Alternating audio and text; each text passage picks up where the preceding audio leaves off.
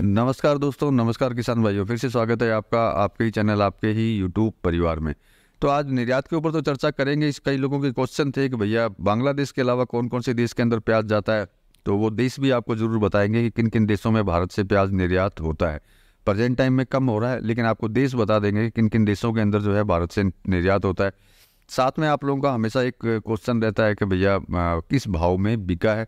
और स्पेशली अदरक के लिए भी आजकल मैसेज आते हैं कि भैया, अदरक जो है किस भाव में बांग्लादेश में बिक रही है।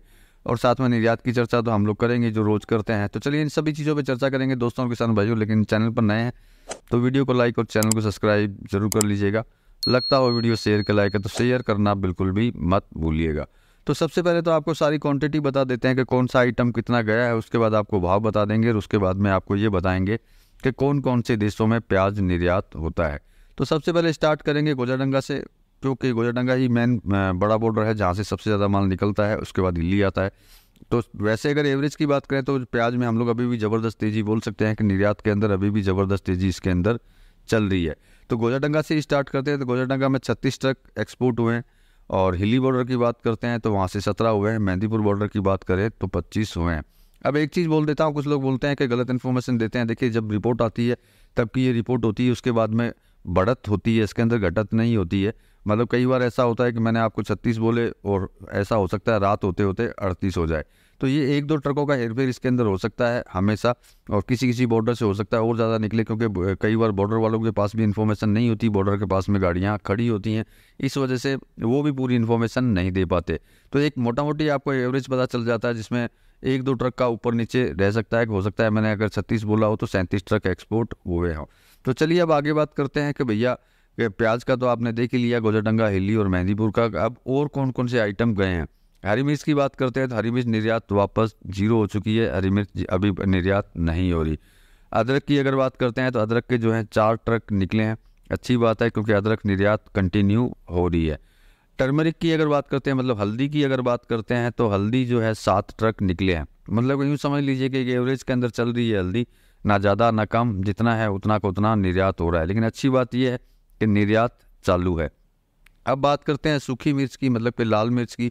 तो लाल मिर्च की अगर बात करते हैं तो उसमें वापस थोड़ी सी तेज़ी आई है।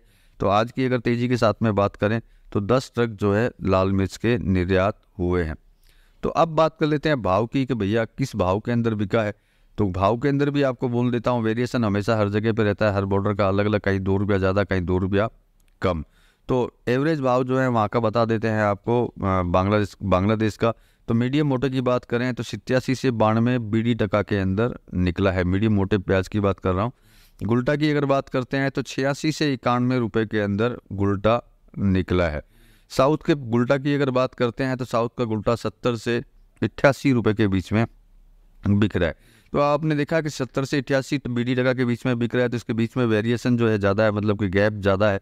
तो इसका कारण सिर्फ़ जो क्वालिटी है, वो होता है कि क्वालिटी ऊपर नीचे होने से ये वेरिएशन जो है, ज़्यादा हो जाता है।